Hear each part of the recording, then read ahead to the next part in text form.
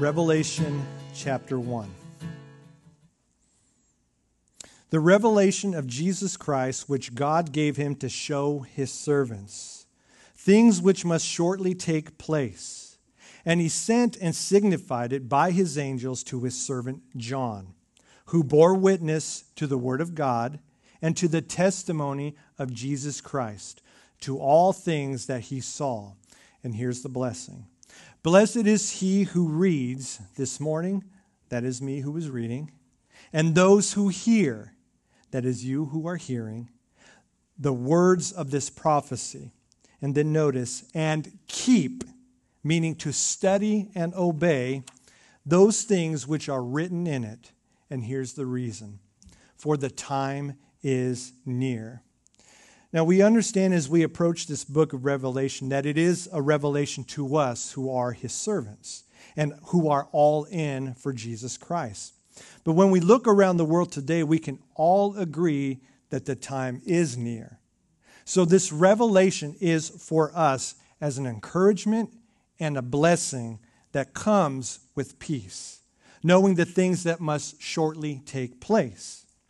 God gives us the gift of this book as a comfort that brings forth the divine conclusion to the inspired Word of God that we have in the Bible. And knowledge of all that will happen and how it all ends. That is, God wins. With this knowledge, this book is to shape our lives as Christians to produce a response of walking in obedience, right, by the Holy Spirit as we wait with expectations, watching for Jesus and the fulfillment of God's promise of eternal victory. Now, this morning, as we begin our study, John continues his introduction by greeting the seven churches that this letter is being written to. Just like the other letters that are written, he still follows what is custom in that culture when writing a letter. In verses 4 and 5, as we pick up on Revelation chapter 1, verse 4, he begins with who is writing the book and says, John. Now, John is the last living apostle at this time. All the other apostles have been martyred for Jesus Christ, and they are now with the Lord. And he is the last eyewitness of Jesus Christ. And really, all he had to do was introdu- introduce himself and, and just right at the top of the whole letter is the elder. Everyone within the church would have known who, who the elder was because he was it.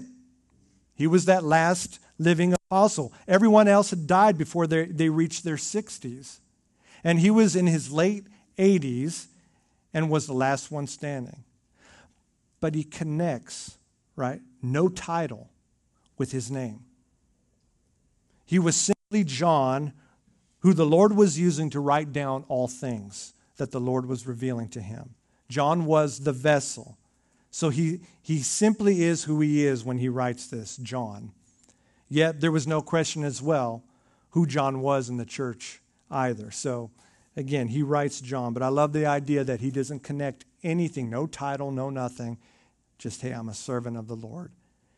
And he is writing this letter to the seven churches which are in Asia.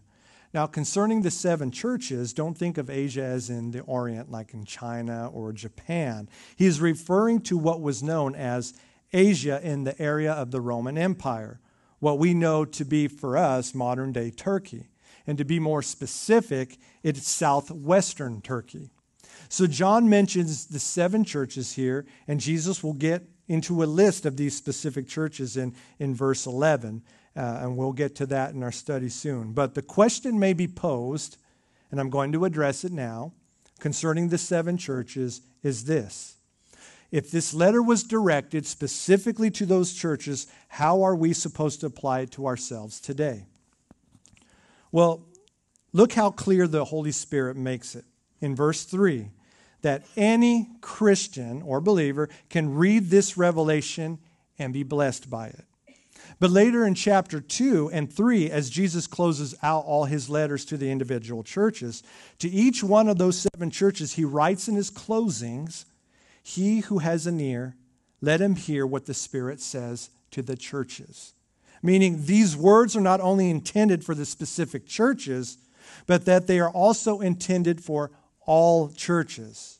Now, if you look at verse 4, 7 is mentioned for the first time. And it is going to be mentioned 54 times in this book. So, why is 7 significant? Well, because the number 7 in the Bible is known as the number of completion. That was the number uh, that has been categorized by the Jews, you know, all the way back to creation when God created the heavens and the earth and rested on the seventh day. There are seven days in a complete week, just like there are seven colors of the rainbow, of God's covenant, where God promises to never flood the earth again. And no matter when we see it, either during in the rain or if you're watering your lawn, you see a rainbow, or during a storm, there's a rainbow in the distance, or from whatever angle that you look at it, you will always see the same seven colors in the same order. And in this book, you will see seven used with seven churches, seven spirits, seven horses, and the list goes on. But just so you know, seven is known as the number of completion. Now, back to the seven churches that John is writing to, he writes to the churches which are in Asia.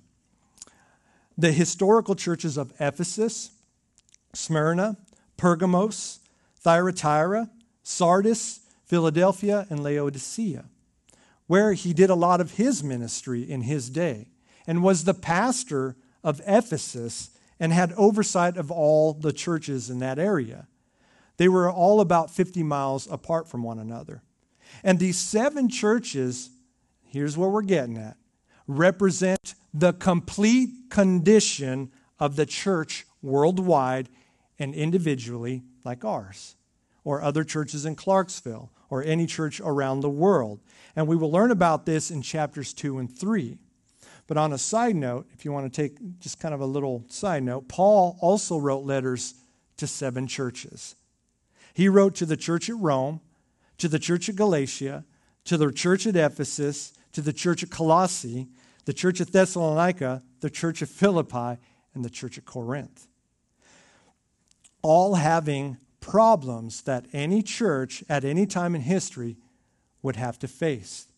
But to these seven historical churches that John writes to in Revelations, these represent the complete condition of the church worldwide that we are to read and have ears to hear what the Spirit says, as in, is presently saying to the churches. And the church, through our history and to our present age, are to listen because the Spirit is still saying what He is saying. Then, on top of that, out of the seven churches, four of them have the promise of Christ's return. So we know those churches still are existent today. That's us. On top of that, if you read the words, He who has an ear, let him hear what the Spirit says to the churches, the word He or Him is also speaking to the individual, singularly. So this is for the Christians individually, worldwide, from here to around the world at any given point in church history. It's not just the church. It's, it's for us individually. Because let me ask you this take a second, just bear with me, and look around the room. Just take a look. Look everywhere, it's right. Now, let me ask you does the church have one big giant ear in the room? Stop looking around. the answer is no. But you, as believers, have ears. The Lord wants you to listen up individually to what the Spirit says to the churches and use the churches as a mirror to search your individual hearts. This was what this was for the churches back then. This was for the churches throughout the ages and this is for the church today. And for the believers in the church individually who has ears to listen. So he writes, John to the seven churches which are in Asia. Now one other important thing so we don't miss, especially in the times we are in, is understanding the word church in this context. The word for church is the word ecclesias. which means the assembly of the called. In our recent years, we have seen where churches were forced to close their doors, where many Christians turned to watching online services. The problem is is that even though the doors are open, there are some who now believe that the church is mainly needed for new Christians. That if you're a, a mature Christian, you don't need to go to church. Home fellowships are enough, watching online is enough, and are more important than the Sunday assembly of the church. Now, I know there's this author that I, I really like. His name is Gene Edwards. He's one of the writers of one of my favorite books called The Tale of Three Kings, and he's an American house church planner who echoes this same sentiment now that if you're a mature Christian, you don't have to go to church when you can meet in homes, however you see fit. And, and I get it, you know, we meet at home for Bible study. I mean, even we started this fellowship as a home fellowship. But the church is the ecclesia. We are called out from the world to be together. And I'll just give you some points just so we can look at. Just as Jesus said in John chapter 13, verses 34 through 35. That a new commandment I give to you, that you love one another as I have loved you, that you also love one another. By this, all will know that you are my disciples if you have love for one another. So there is a demonstration of that even in a room this size. There's a demonstration that is going on in this room with all the different folks from all different places where people can come, they will see this truth in demonstration. Paul writes Timothy 1 Timothy chapter 3 verse 15 and tells him, "But if I'm delayed, I write so that you may know how you ought to conduct yourselves in the house of God, which is the church of the living God, the pillar and ground of truth, as we should be. Where, where when people come to the church, they will hear the truth being taught at the pulpit and being spoken out by his people. Even the writer of the book of Hebrews says, in chapter 10, verse 24, he says, And let us consider one another in order to stir up love and good works, not forsaking the assembling of ourselves together, as is the manner of some, by exhorting one another, and so much the more as you see the day approaching. So we are called as the body of Christ under the authority of Jesus, who is the head of the body, to assemble together as family. We are the children of God. Wherever the churches are around the world, it is necessary that we meet. I mean, where else can someone go who is lost to find truth? Who, where else can anyone else go who, who wants to be among people that can demonstrate the love of Christ, individually and as of a body of believers. People who have reached that point in their life where they are searching for truth, you know, where they have just kind of reached that point where they're like so tired of the same old, same old. They get up one morning and they're like, I need to go to church. That's something that's just within their own conscience and their mind. I need to go to church. And they want to see these people who have something that they're not you know, that they're missing within their own life. Someone who was radically changed for Jesus. Church is not just for new Christians. Church is the ecclesia, the assembly of Christ's body. So don't let anyone tell you that you are immature if you go to church. It's necessary. It's what God has planned for us, knowing the day is approaching. We need one another to pray for each other, to encourage one another, to stir one another up, to you know, to, to gather and we can all be unified in agreement in the hope that we have that is in Jesus Christ. We are the ecclesia, the body of Christ. That is the church. And for the record, it doesn't mean that I am against home fellowships. That's not what I'm saying. So don't send me an email. So back to verse 4. He says, John to the seven churches which are in Asia. Now, if you notice, John does the standard greeting, we'll see in letters, with the words, Grace to you and peace. We have seen this greeting throughout the letters of Paul, and this was the common greeting during that time. They say grace to you, or they'll say peace to you. Now, grace was a term used by the Gentiles to greet one another, and it is the Greek word charis, grace, as in, may your day bring you more grace than you deserve. And then there is peace, which is, was the standard greeting of the Jews. Peace as in shalom. May your day be filled with peace. Today, I wish we were just that simple, but we're like, what's up? Or hello. And then it comes with, how are you? And it just keeps going. Well, I hope you have a good day. Well, that's pretty much saying peace or grace. You know, have a good day, right? We, we complicate things. I don't know. But, but I want to point out that the Holy Spirit, as we see so often in the New Testament, always keeps this greeting in this order. And it's never in reverse. It is always grace first and peace second. And what the Holy Spirit communicates is an important truth when doing so. Because no one is able to experience the peace of God before they experience the grace of God. It is when we are saved by grace that we have peace with God. And this continues in our relationship with God as believers. We will never have true peace in our relationship with God if we do not know that God deals with, deals with us on the basis of grace. It is only that I am strong in his grace towards me as his child and his grace towards me as a sinner that I will enjoy peace in my relationship with God.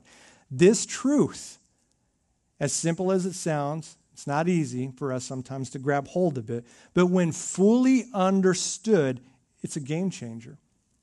It can absolutely change a Christian's life, especially for someone who has a legalistic background. Our relationship is solely based upon God's grace, and it is only because of God's grace that we can have true peace in this relationships. And notice in the latter part of verse 4 and into 5, John then shares with us the source of our grace and peace. Grace and peace does not come from this world, nor is it something made from man, to include the apostles, but that grace and peace have their origin they come from God the Father, God the Spirit, and God the Son. And all three persons of the Godhead are in complete unity of this grace based relationship with God, three in one, and the enjoying the peace that comes from the relationship. So, John, he says, Grace to you and peace from him, speaking of the Father, and describes him as him who is and who was and who is to come. God the Father, He's eternal, He's outside of time. He is all these things in fullness, all at once. Then John describes the Holy Spirit as from the seven spirits who are before his throne.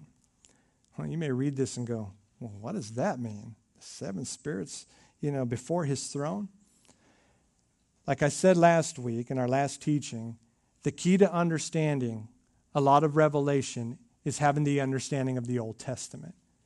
So now here is where we have to go back to the key and, and ask ourselves is there any place in the Old Testament where the Holy Spirit is spoken of in the context of seven? And the answer is yes. It is found in Isaiah chapter 11, verse 2, and I will read it to you. It says, There shall come forth a rod from the stem of Jesse, and a branch shall grow out of his roots, referring to Jesus. And here we go, verse 2.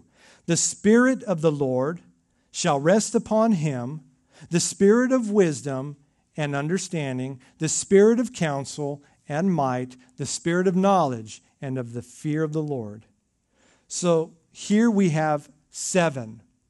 The sevenfold fullness of the Holy Spirit. He is the Spirit of Yahweh, the Spirit of wisdom, the Spirit of understanding, the Spirit of counsel, the Spirit of might, the Spirit of knowledge, and the Spirit of the fear of the Lord. And we will talk about this when we get to chapter 3, when the Lord is dealing with the church at Sardis. And finally, we have this relationship of grace and peace through and from, verse 5, Jesus Christ. Now, in verses 5 through 7, John now aligns himself back to the title of the book, the, back to the theme of this chapter, which is the revelation of Jesus Christ, and describes Jesus in verse 5, take a look, as the faithful witness. If you look at John's writings, he writes that he is the singular faithful witness of God the Father. He is the singular faithful witness of what God the Father is like. Jesus explained this to Philip in John chapter 14, verse 9, when Philip said to him, Lord, show us the Father, and it is sufficient for us. Jesus said to him, Have I been with you so long, and yet you have not known me, Philip? He who has seen me has seen the Father. So, how can you say, Show us the Father? Jesus is the singular faithful witness of God the Father. If you want to know what the Father is like, look at Jesus. When you study Jesus, you are studying the Father. You see the compassionate heart of the Father through Jesus. You hear the Father speak when Jesus teaches. You see the Father in action in his actions towards people and how he spoke to people. You see perfection. Jesus is the faithful witness to God the Father. No person, no church, no other thing or what anything that anybody can come up with is the faithful witness of God the Father. Only Jesus is, period. Amen. Yet so often, you hear people give excuses of why they don't want to come to the Lord. This being the main one, I'll throw out there. I don't want to become a Christian because the church is full of hypocrites.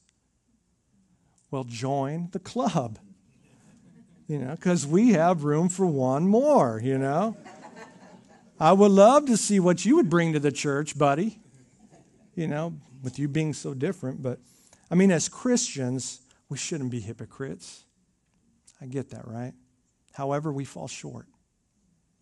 We are not perfect, only Jesus is, which is why this relationship is based on grace, not what we can do, not of our own actions. We fall short. But that is the problem with using this excuse because using the people of the church as, and their witness as your reason for rejecting God's promised Savior in His Son Jesus is to take your eyes off the faithful witness of God who is perfection, period.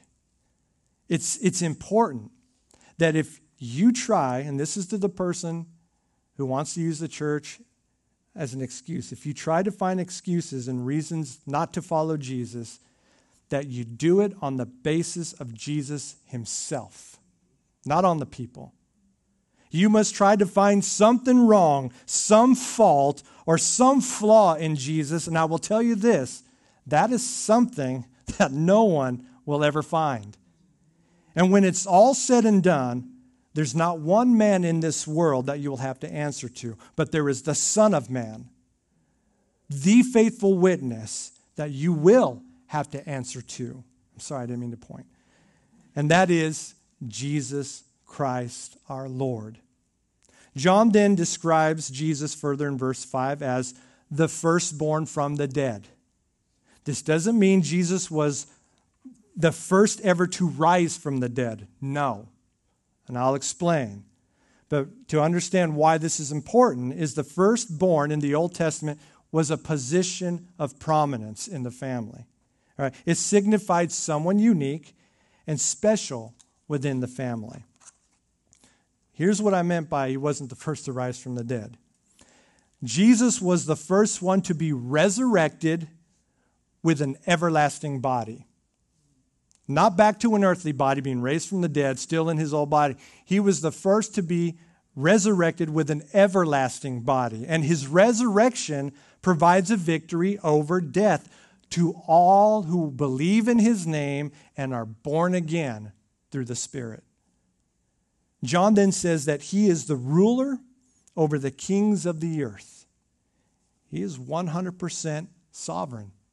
He is ruler over all kings and rulers of the earth.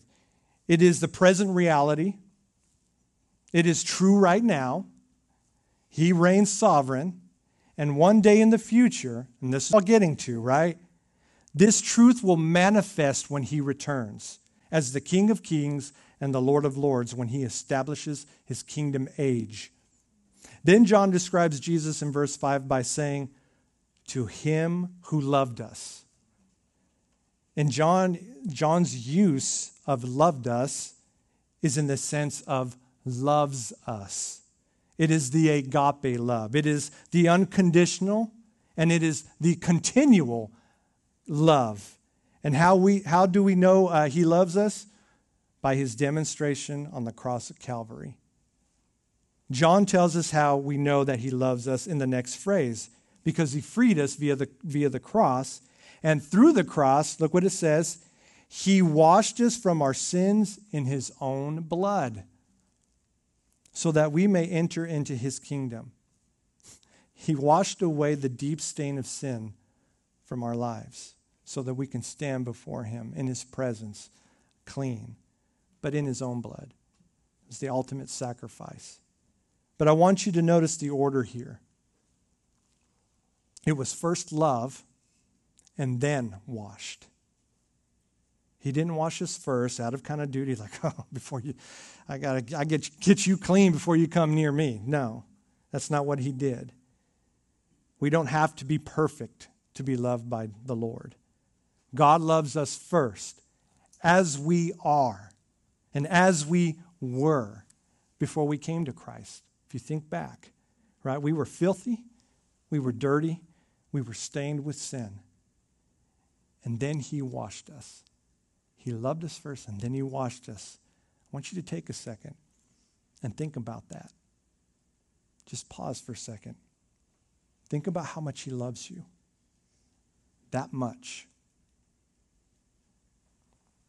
With the Lord's constant love and the heart that He has towards us and to you individually, I'm going to go back to what I said last week. This book should not frighten you because of the very fact that it is from our Lord who loves us. Amen? And it is by his love and cleansing that he, look at verse 6, has made us kings and priests to his God and Father. To him be glory and dominion forever and ever. Amen. So by his blood, he has made us a part of his kingdom as kings and priests.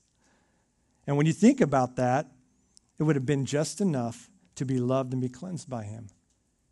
But to go above that and make us kings and priests to his God and Father, this is more than what Adam was in the garden before he even sinned. You never read in God's word of Adam being a king and a priest of God. You don't read that. But we are kings and we are God's royalty. We are his royalty. This is a privilege given to us, along with status and authority. We are his ambassadors to the world, and we are priests. God's special servants, where we have special access to God's presence. Now, in the Old Testament, priests, they had two functions. They represented God before the people, and they represented the people before God so do we. In our Christian lives, as we live them day in and day out, we represent God to the people as His priests. We are His servants. But we also represent the people before God as we intercede for them, as we serve them and pray for these people to God. Jesus made us a kingdom of priests, and in royalty, we're all going to reign with Him. And with all of who Jesus is, John praises the one to be praised and says, To him be glory and dominion. Now, to recognize the dominion of Jesus is to let him rule over us. In other words, for us to say to him, Be glory and dominion, we must give him dominion of ourselves entirely. Entirely. Body, soul, and spirit. All three kingdoms within us should be united under his dominion, which would make Christ the king over all and over our hearts. Listen, loved ones. We are not to allow ourselves to take any branch of those three kingdoms to ourselves. We are not to allow ourselves to take any branch of those three kingdoms to ourselves. I know there may be those areas of pain or hurt that we have so greatly been really uh, good at to co- compartmentalize these things pretty deep within us. An area where we have found a way in our own minds to keep to ourselves and give Jesus the remainder. But I'm just keeping that because that makes me comfortable by my standard. And we have learned to always keep that part buried, just far deep away. It's still within you, but we bury it so deep in a darkened area where it becomes numb, but it's still there. It's a scar. And we tend to think, being that it is hidden so deep, that it's surrounded by these walls now that you've got around them, that, oh, you got the perfect place, you know, where we can suppress it and not think about it. And hey, this is what we have learned to cope with. And yes, it's what helps us function. And I, and I know this, and I'm speaking from experience because I had done that in my life for 25 years. But little did I know the bondage that I was still under. Little did I know how much I was really in control when I thought I was surrendered to Jesus until he revealed it to me that he wanted all of me, including the pain I buried beneath the scar. He revealed to me that in order for me to experience the complete fullness of him in my life, I needed to surrender it all, including that part, to Him and allow Him complete dominion over my life. Finally, I gave it to Him. I prayed and I just I allowed Him to take it, take all of me, and especially all that was beneath the scar. And you know what? He did. He was faithful, and He set me free. And for the first time in a long time, I felt the fullness of Him fall upon me and fill that deep wound, that deep scar that was within me. He filled that with the fullness of Him as well. Now He has all of me. I truly have missed out on so much, but I'm thankful that He has all of me. And I'm here to tell you, He wants all of you as well. Remember, nothing is hidden from Him. We stand naked before Him scars and all. He's ready to set you free. If you are struggling with this, I'm here to tell you, He's ready for you to release it to Him so that you may be set free and may experience the fullness of His love, where you will stand and declare, To Him be the glory and dominion forever and ever. The phrase forever and ever is not known in the classic Greek. I thought that was interesting. Because it means ages to ages, yet it is listed 14 times in the book of Revelation. He saved us to the ages to ages of the ages. And then John gives the affirmation. He says, Amen. That's the truth, so be it. Jesus will be praised. Verse 7. John says, Behold, he's coming with clouds, and every eye will see him, even they who pierced him. So Jesus is going to descend from heaven, and this speaks of his second coming, where every eye will witness him as he comes. And we will go in greater depth in that in chapter 19. But now, when John mentions he's coming with clouds, I think of Matthew when he quotes Jesus during the Olivet Discourse and said in Matthew chapter 24, verse 30, he says, Then the sign of the Son of Man will appear in heaven. This is Jesus speaking. And then all the tribes of the earth will mourn. And they, here we go, will see the Son of Man coming on the clouds of heaven with power and great glory. I want you to keep that in mind because when Jesus comes, he will be surrounded with clouds. This will be literally happening as he was taken up into a cloud at his ascension. He would return in the same manner. But what's interesting, this is where I want to draw your guys' attention in the way that uh, John speaks, and even the way Jesus spoke uh, in that verse, is clouds are commonly associated with God's presence and glory. And in the Old Testament, the cloud of glory is called the Shekinah glory. All right? Hold that thought. Because also, clouds are figurative, figurative uh, I can't even say the word. Someone help me out. Figurative. Thank you. Thank you. I'm not even going to try it, but you guys got it. But the cloud, you know, I practiced that word. I'm just being straight up. I don't know. I don't know if it's the twang or the twang. I don't get it. But they are described as a multitude of believers. Hebrews chapter 12, verse 1, the writer declares, Therefore we also, since we are surrounded by so great a cloud of witnesses. Hmm. Understanding these connections with the glory of God and the cloud of witnesses, speaking of the multitude, it is fitting and wonderfully amazing that the multitude of believers is called a cloud, where God's people are his glory. They are his cloud, his Shekinah. Remember, once, once he calls the bride to himself, we will always be with him. So at his second coming, guess who's going to be with him? We will be with him. We will never leave his side. We will always be with him.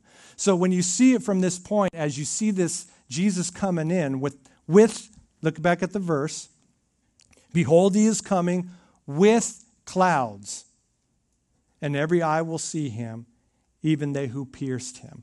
We see Jesus say that, uh, that the Son of Man coming on the clouds of heaven with power and great glory. So you put that together, the way it connects that we, we will be that, that multitude that comes with him. It will be that his glory with, that, with him as he comes back to this earth. And every eye will see him, both Jew and Gentile. And all the tribes of the earth will mourn him because of him. And the reaction is that they will mourn when they see him. Right?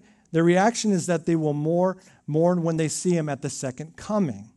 And it is both Jew and Gentile who were involved in Jesus' crucifixion. Now, I want you to keep also one other thing in mind. There will be new born again believers who get saved during the tribulation that survived not having been martyred for their faith. And when they see him, they will rejoice. But first, as we see in this scripture, they will mourn because of their first reaction towards Jesus before the tribulation. You understand? They spent all their life rejecting him, but yet, they, and, and, and during the tribulation, they come to him. And when they see him, they'll mourn him because they're going to be like, oh man, that's Jesus. So thankful. And then they're going to rejoice, praise God. You know, praise, praise Jesus. He's, he's, he's come for us, you know. And so there will be that, that mourning, uh, and, and then it'll turn to joy. But on the flip side, there will be those who remain alive in the tribulation, who are completely hostile towards Christ and the believers. But when they see him, they will mourn, knowing they have no legs to stand on to judge him. Not anymore. And they will now be judged by him. And John declares at the end of verse 7, he says, Even so, amen. Meaning that's the truth. Let's get on with it. Now, I will close with verse 8. Because then in verse 8, when you look at your Bibles, you see red letters, meaning we have a change of speaker here. It goes from John to Jesus himself.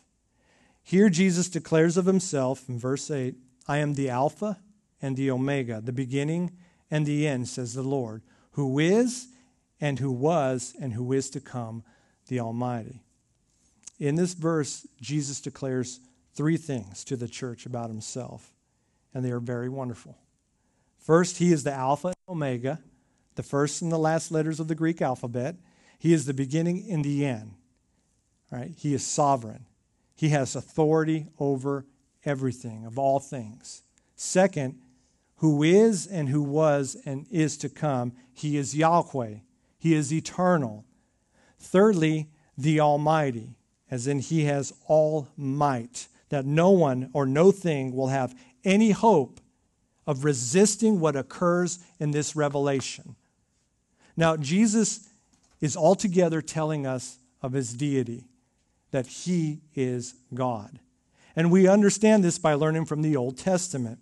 We know that the Alpha and Omega, the first and last, and the beginning and the end, is an Old Testament declaration by God, Yahweh, Jehovah, that He is God. That's what He uses, right? Isaiah chapter 41, verse 4 says, Who has performed and done it, calling the generations from the beginning?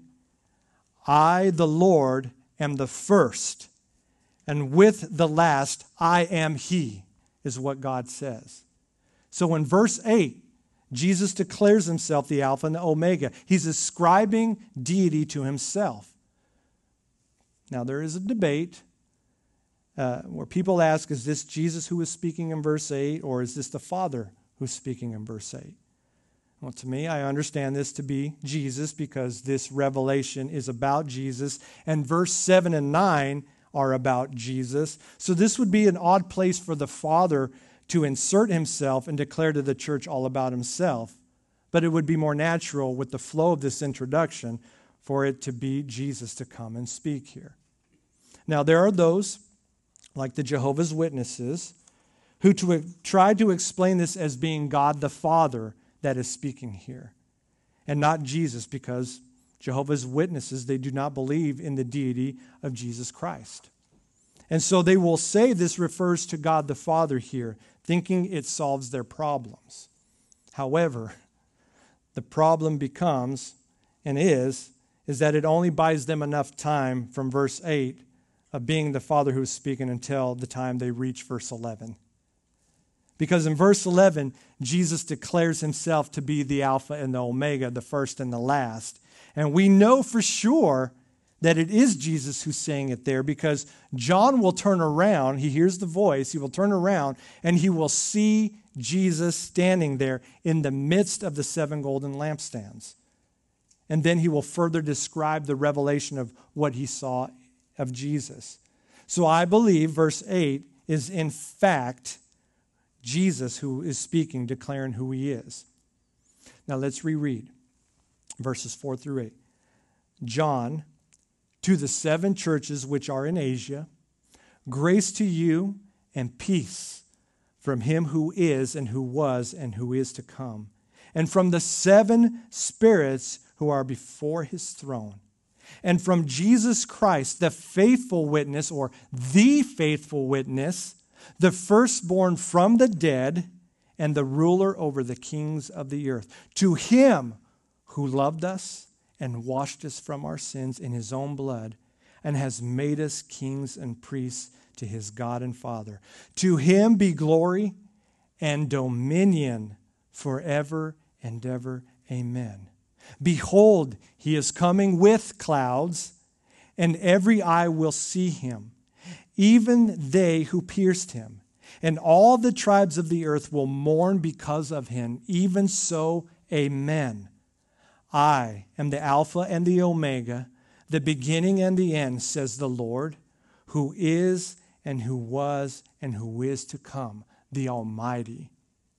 Now, as we close verses 4 through 8 was a very beautiful greeting to the church. It was a wonderful greeting to us. Amen. And it was from John, and it was from the revealer and the revelation, Jesus Christ. But the main thing that we need to remember is how he says that he loves you. He loves you so much that he died for you on the cross, so that you, just as you were, were washed by his own blood that brought you into this wonderful grace based relationship with Him. And were made a king and a priest of God the Father. But that you should know above all else is that the Lord sees you as his child. And just like any other father, right, he protects his child. He wants you to know who is in control. He loves you that much that he does not want you to be afraid of anything that follows after this greeting. He speaks and tells you who he is as a reminder. He is God Almighty. He is our peace through grace. Remember, this book comes with a blessing where we begin with Jesus, and it is for sure we will finish with Jesus. It only gets better from here, this point on. Amen. Let us pray. Lord,